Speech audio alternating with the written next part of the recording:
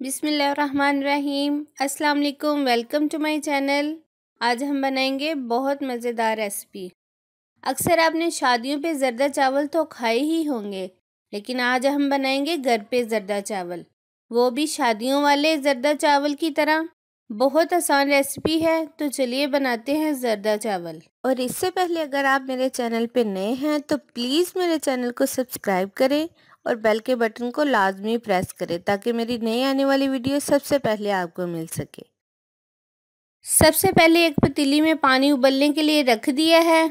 पानी में शामिल करेंगे आधा चम्मच जर्दा फ़ूड कलर पानी में उबाल आ गया है। अब हम इसमें शामिल करेंगे आधा किलो चावल जो कि मैंने पहले ही अच्छी तरह से धो के और भिगो के रखे थे।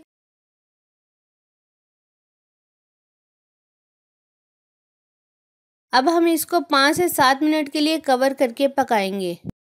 छः से सात मिनट हो गए हैं, अब हम चेक करते हैं कि चावल हमारे गले हैं कि नहीं। चावलों को एक से दो मिनट के लिए मज़ीद पकाएँगे। जब चावलों में एक कनी रह जाए तो चूल्हे से उतार लेंगे।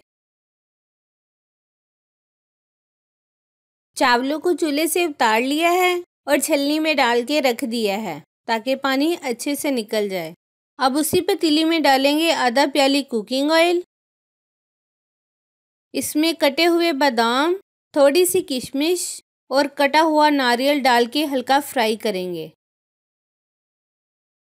ड्राई फ्रूट को फ्राई करने से इनका टेस्ट और भी बढ़ जाता है। ड्राई फ्रूट्स फ्राई हो चुके हैं। अब इनको एक प्लेट में निकाल लेंगे।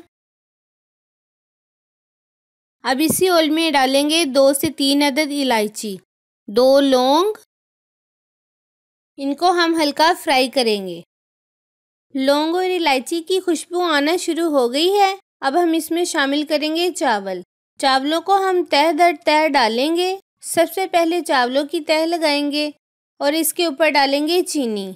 चीनी हमने 350 ग्राम ली है। अगर आपको मीठा ज़्यादा पसंद है तो आप चीनी की मकदार बढ़ा सकते हैं। चीनी की तह लगाने के बाद आप इसमें चावलों की तह लगा दें। इसी तरह बाकी चीनी और चावलों की तह लगा दें। अब हम इसमें थोड़ा सा दूध डालेंगे और दो से तीन मिनट के लिए इसको कवर करके रख देंगे, ताकि चीनी अच्छे से मेल्ट हो जाए और आँच बिल्कुल लो कर देंगे। दो से तीन मिनट हो चुके हैं और चीनी अच्छे से मेल्ट हो चुकी है। अब हम इसको अच्छी तरह मिक्स कर लेंगे। जो ड्राई फ्रूट हमने फ्राई करके रखे थे, वो भी इसमें शामिल करेंगे और थोड़े से गार्निशिंग के लिए रख लेंगे। अब हम इन्हें पाँच मिनट के लिए दम पे रख देंगे ताकि जो हमने दूध डाला था और चीनी की नमी खुश्क हो जाए। पाँच मिनट हो चुके हैं और पानी बिल्कुल खुश्क हो चुका है। चावल हमारे बिल्कुल तैयार हैं। अब हम इन्हें एक प्लेट में निकाल के गार्निशिंग करेंगे।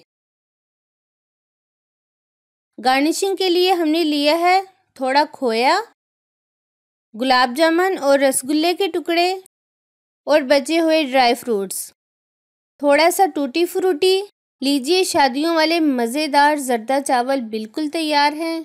अगर आपको ये जर्दा चावल की रेसिपी अच्छी लगे तो प्लीज़ लाइक और शेयर ज़रूर कीजिएगा। अपना बहुत ज़्यादा ख्याल रखें और मुझे भी दुआओं में याद रखें। अल्लाह हाफिज़।